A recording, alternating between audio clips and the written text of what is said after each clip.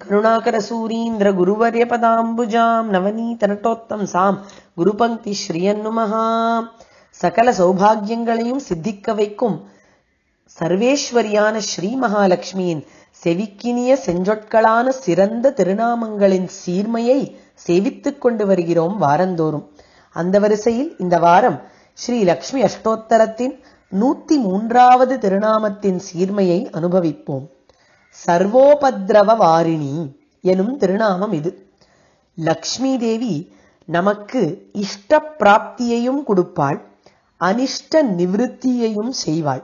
என்ன அர்த்தம்? இஷ்ட பிராப்தி அப்படின்னா நமக்கு எது இஷ்டமோ எது ஆசையோ அது தார்மீகமாக நியாயமாக இருந்தால் அதை நம்மை அடையச் செய்வாள் மகாலட்சுமி.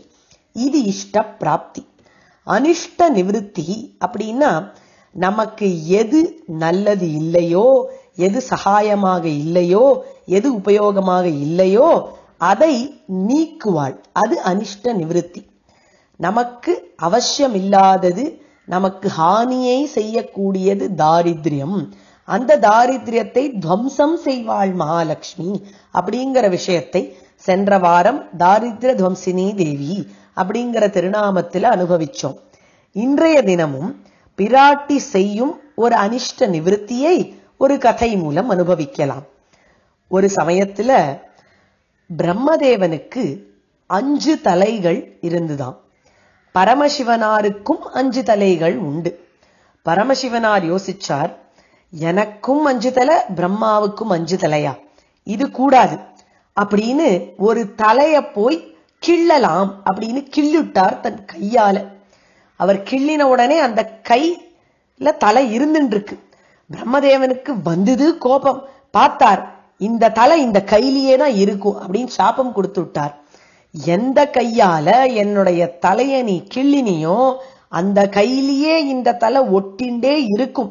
அது விழவே விழாது அது கபாலமா மாறிடும். அதை வச்சுண்டு நீ திரிஞ்சுருப்பாய் அப்படின்னு சாபம் கொடுத்துட்டார் சாபம் கொடுத்தாரோ இல்லையோ கேட்ட உடனே பரமசிவனாருக்கு தான் செஞ்சது தப்புன்னு தெரிஞ்சுடுத்து செஞ்ச தப்புனுடைய தீவிரம் புரிஞ்சுடுத்து.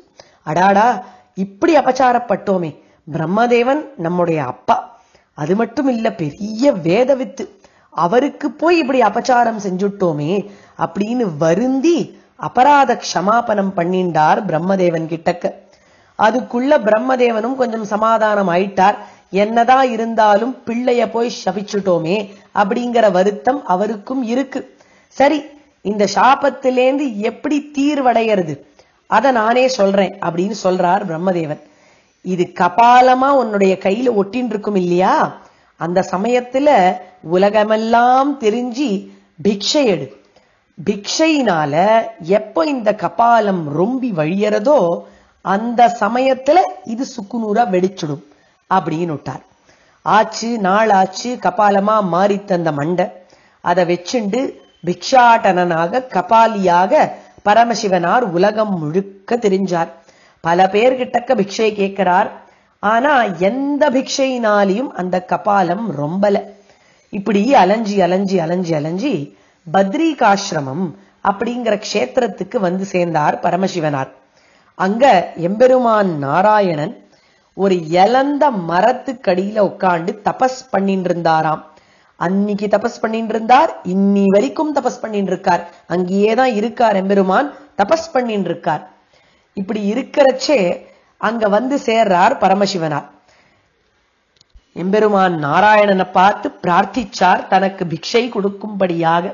எம்பெருமான் உடனே அவருடைய திருமார்ப கீறி அதிலேந்து வந்த ரத்தத்தினால அவருடைய கபாலத்தை ரொப்பினாராம். அது ரொம்பி வழிஞ்சித்து அடுத்த நிமிஷம் சுக்கு நூறா உடஞ்சி போயிடுத்து.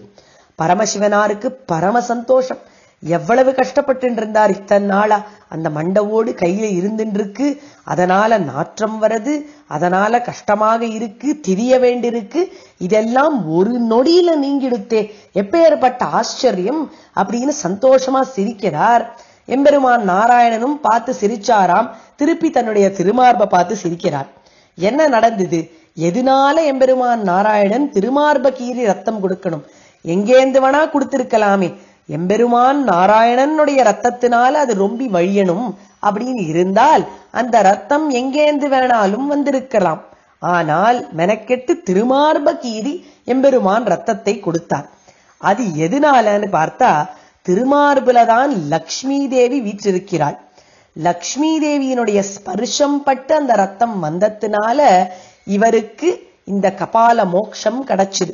ஆழ்வார் பாடுவார் பேச நின்ற சிவனுக்கும் பிரமந்தனுக்கும் பிறர்க்கும் நாயகனவனே கபாலனன் மோக்கத்து கண்டு கொண்மின் அப்படின்னுவார். சர்வேஸ்வரன் எம்பெருமான் நாராயணன் அப்படின்னு நிரூபிச்சது இந்த கபால மோக்ஷமாகிற சரித்திரம். அந்த கபால மோக்ஷம் ஏற்பட்டது திருமார்பிலேந்து வந்த ரத்தத்தினால திருமார்பில பிராட்டி வீற்றிருக்கிறாள். பிராட்டி எல்லா விதமான துன்பங்களையும் உபதிரவங்களையும் நீக்குபவள். அதனால அவளுடைய ஸ்பர்ஷம் பட்ட ரத்தத்தினுடைய மகிமையினால இந்த கபால மோட்சம் அடைஞ்சுது அப்படிங்கிற சூக்ஷ்மத்தை அந்த இடத்துல வச்சிருக்கார். இந்த கதையில இன்னொரு சுவாரஸ்யமும் கவனிக்கணும். எம்பெருமான் நாராயணன் தபஸ் பண்ணினார்னு சொன்னோமே அது ஒரு இலந்த மரத்துக்கடியில உட்கார்ந்து தபஸ் பண்ணினார் அப்படின்னு வரலாறு. இழந்த மரம் அப்படிங்கிறது கண்ணுக்கு தெரியறது இல்ல கண்ணுக்கு தெரியாத இழந்த மரம். ஆனா அது எம்பெருமான் நாராயணனுடைய தபஸுக்கு நிழலாக இருந்துருக்கு இருக்கு அது உண்மையிலேயே யாரு அப்படின்னு பெரியவர்கள்லாம் ஆராய்ந்து சொல்றா அது வேற யாரும் இல்ல. சாக்ஷாத் லக்ஷ்மி தேவி தான் அவள்தான் அந்த இலந்த மர ரூபமாக அங்க இருந்துட்டு இருக்கா தன்னுடைய கணவர் தபஸ் பண்றதுக்கு சகதர்மச்சாரிணியாக ஆதரவாக இருந்துருக்காளாம் அந்த மர ரூபத்துல. அப்படி லக்ஷ்மி தேவியினுடைய ஆதரவு அந்த இடத்துல இருந்ததுனாலதான் பரமசிவனார் அங்க வந்து கேட்ட உடனே எம்பெருமான் நாராயணன் அவருக்கு அனுகிரகம் பண்ணணும்னு தீர்மானிச்சார். அந்த லக்ஷ்மி தேவியினுடைய ஸ்பர்ஷம் பட்ட ரத்தத்தினாலேயே அவருக்கு அனுகிரகத்தையும் செய்தார். இப்படி லக்ஷ்மி தேவியினுடைய மகிமையினால கபால மோக்ஷம் அப்படிங்கிற சரித்திரம் ஏற்பட்டது.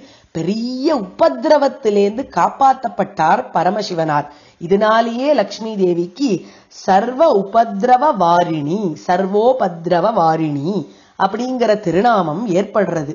அன்னைக்கு பரமசிவனாரனுடைய உபதிரவங்களை மட்டும் தீர்த்து வைக்கலை மகாலட்சுமி. இன்னி வரைக்கும் நம்மளுடைய உபதிரவங்கள் எல்லாத்தையும் தீர்ப்பாள் அப்படிங்கறதுல சந்தேகம் இல்லை அதனாலதான் பத்ரிகாசிரமத்துல இந்த இடத்துக்கு போய் எந்த இடம்? இந்த கபால மோட்சம் நடந்த இடம். அந்த இடத்துக்கு பிரம்ம கபாலம்னு பேரு. அந்த இடத்துக்கு போய் பித்திருக்களுக்கு பிண்டம் வைக்கிறது வழக்கமாக வச்சிருக்கார்கள் பெரியவர்கள். ஏன்னா சில சமயம் பித்ரு சாபங்கள் அதெல்லாம் ஏற்படுறதுக்கு வாய்ப்பு உண்டு. சந்ததிகள்லாம் ஒழுங்கா நடந்துக்கலைன்னா தங்களை மீறி பித்திருக்கள் சாபம் கொடுப்பா. எப்படி பிரம்மதேவன் பரமசிவனாருக்கு கொடுத்தாளோ அந்த மாதிரி. அவையெல்லாம் நமக்கு ஏற்பட்டிருந்தால் அதெல்லாம் அந்த இடத்துல பிண்டம் கொடுத்தால் நீங்கும் அப்படிங்கிற ஒரு நம்பிக்கை இருக்கு. ஏன்னா இன்னி வரைக்கும் மகாலட்சுமி இளந்த மர ரூபத்துல அந்த இடத்துல இருந்துட்டு இருக்கா. அவளுடைய கருணையினால பித்ரு சாபம் போன்ற உபதிரவங்கள் நீங்கி நமக்கு சௌக்கியம் கிடைக்கும். இதனால இவளுக்கு சர்வோபத்ரவ வாரிணி அப்படிங்கிற திருநாமம் வருகிறது. சர்வோபத்ரவ வாரிணி அப்படிங்கிற திருநாமத்துக்கு அடியனுடைய ஆச்சாரியன் ஸ்ரீ கருணாகர மகாதேசிகன் அருளி செய்த நிருப்தி ஸ்லோகம். சர்வான் உபத்ரவானேஷா பக்தானாம் வாரையேதிதம் ஷீலமஸ்யா இதி ஹேஷா சர்வோபத்ரவ வாரிணி சர்வோபத்ரவ வாரிணி அப்படிங்கிற திருநாமத்தை பத்ரிகாசிரமத்தில் இருக்கிற எம்பெருமான நினைச்சுண்டு எலந்த மர ரூபியா இருக்கிற தாயார நினைச்சுண்டு நாம் தியானம் செய்தோமானால் பித்ரு சாபங்கள் எல்லாம் நீங்கி நாம் சௌக்கியமாக இருப்போம் அப்படிங்கறதுல சந்தேகம் இல்லை அதனால பக்தியுடன் ஜபிப்போம். வாங்கள். சர்வோபத்ரவ வாரிண்யை நமஹா.